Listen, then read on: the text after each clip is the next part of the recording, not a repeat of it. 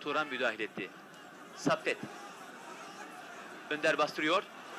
Evet bir oldan da sıyrıldı. Lukovcan kalesinden çıktı. Kale bomboş durumda.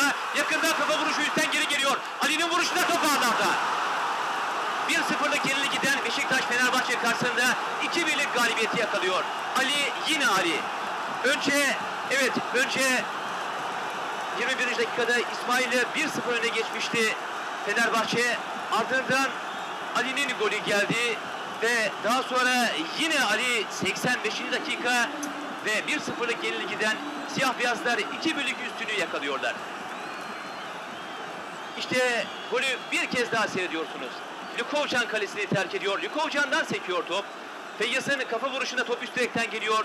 Ali gol yollarında etkili olabilen bir oyuncu ve böylesine bir pozisyonu, böylesine elverişli bir durumu çok iyi değerlendiriyor. Beşiktaş Fenerbahçe karşısında şimdi 2-1 üstün durumda. Coşkun Kutay saatini kontrol ediyor. Sedat, Önder ve 90 dakikanın son düdük sesi. Evet İstanbul İnönü Stadı'nda Beşiktaş Fenerbahçe karşısında 1-0'lık yenili giden 2-1 oyunu galip bitiriyor.